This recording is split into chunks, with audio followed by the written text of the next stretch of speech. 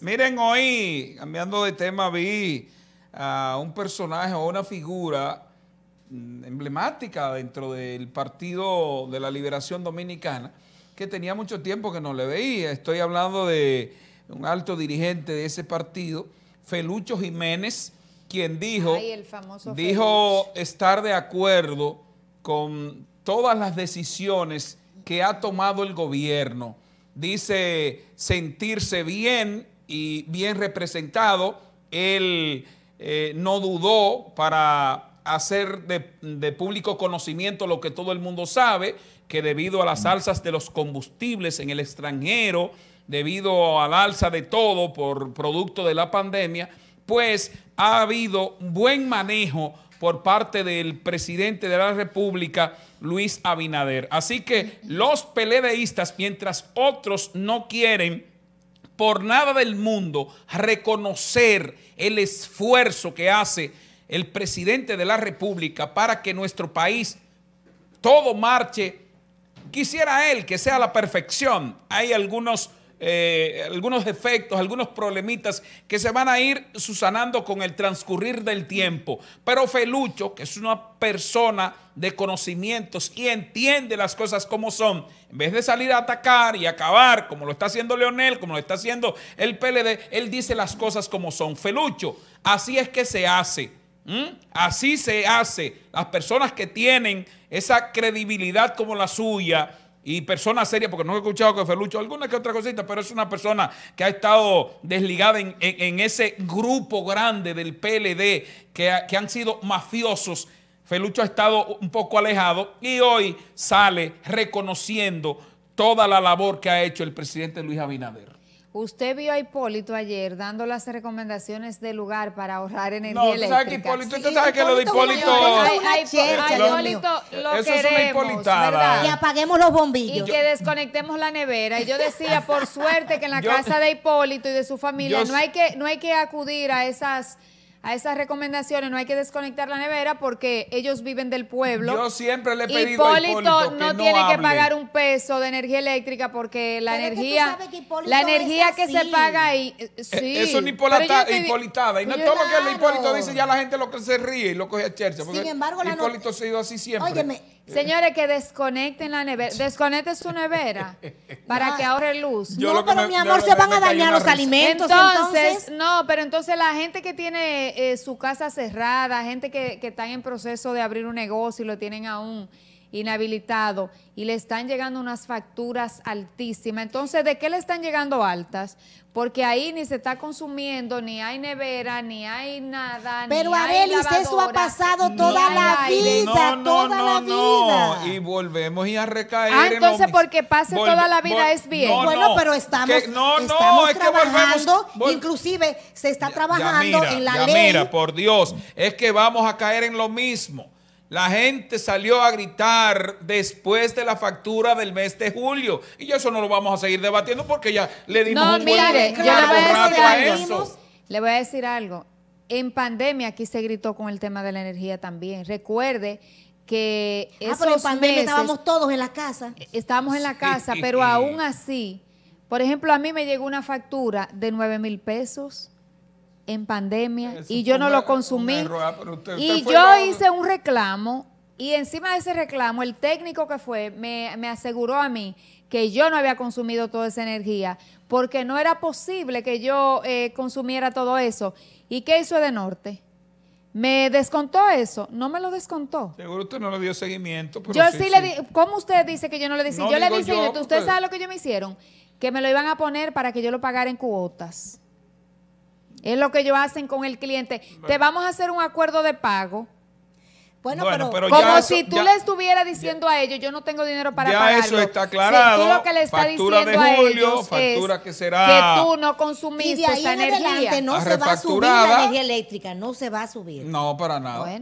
Este trimestre ya el presidente lo dijo y la gente contenta porque el que pagó usted de 3, 6, como usted me decía anoche, ya usted sabe que va a tener en fondos tres mil y algo que fueron de más. Vamos a ver entonces. Eso, eso, usted lo Bueno, van a transcurrir los días y no pasará mucho tiempo para darnos cuenta de eso, porque el, mes próximo se va a cobrar, se va a cobrar mucho, eh, mucho impuesto de reconexión estos meses.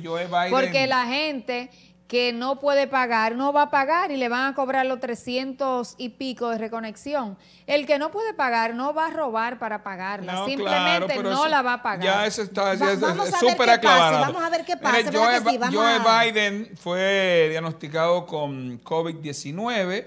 Él escribió en un tweet de que se sentía bastante bien, es decir, que eh, no nada de, de peligro para el presidente de los Estados Unidos, Joe Biden.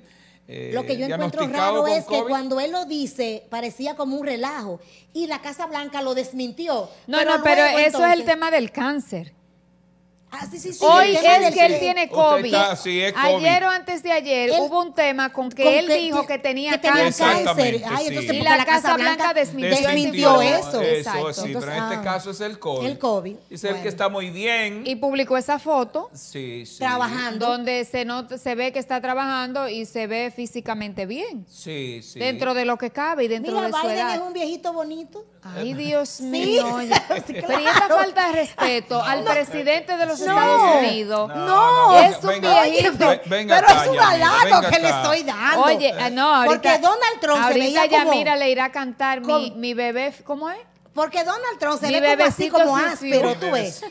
Un hombre blanco, alto, pero como áspero. Pero Biden se ve como fino, se ve. Sí. Él es muy elegante. Siguiendo en Estados Unidos, hoy se le dio el último adiós a la señora Ivana Trump, la ex esposa del el ex presidente de los Estados Unidos, Donald Trump, entre llantos y tristeza, vieron ya darle al último adiós a esta dama que según los familiares eso era un, era un, ser ejemplar, era una persona a quien todo el que tuvo la oportunidad de conocerla siempre tuvo algo bueno que decir de ella. Miren, y, voy a dar un dato. Eh, resulta que cuando se anunció la muerte de Ivana, no decían eh, de qué había fallecido.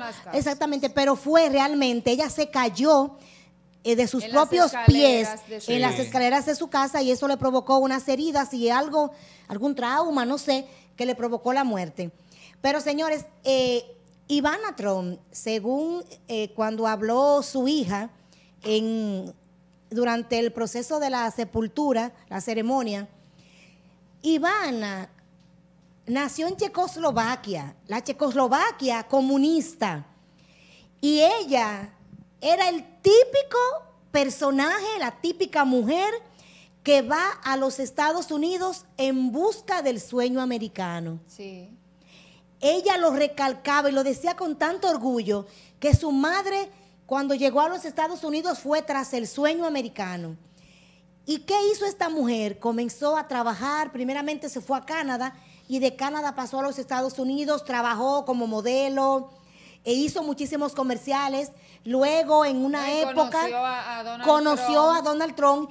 y ambos, oigan cómo dice, ambos entonces trabajan. Y crean un imperio. Y crean un imperio tan grande y suntuoso. Entonces ahí es cuando vemos a una Ivana suntuosa, con unos... Una empresaria muy Con unos eh, peinados que llamaban mucho la atención.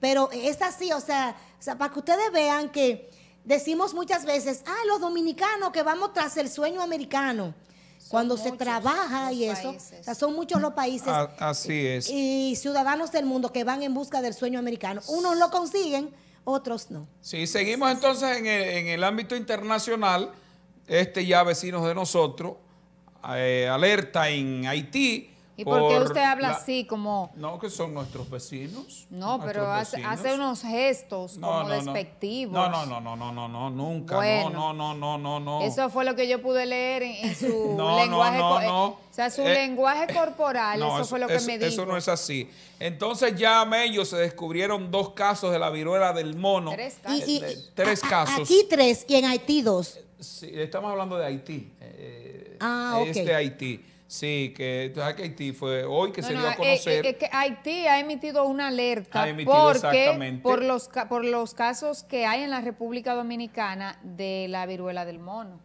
Y Ellos, ah, porque es, un eh, Haití cuando tiene que hacer lo que tiene que hacer lo hace. No, de una vez una alerta. Emitieron una alerta porque que ellos no quieren la viruela del mono. Ese, es es el caso, así es el asunto. Así claro, es Aquí sí hay tres casos de, viruela del mono.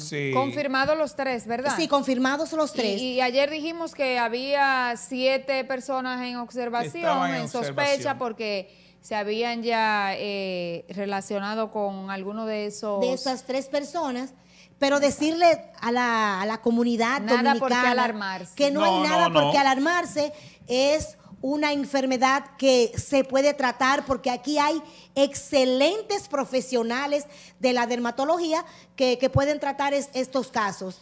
Y claro, con, con, higiene y con cuidado, pues yo sé que no va a pasar de ahí eh, la viruela del mono que en este momento ya hay tres casos confirmados. No, ya mira, y que el, ir al médico.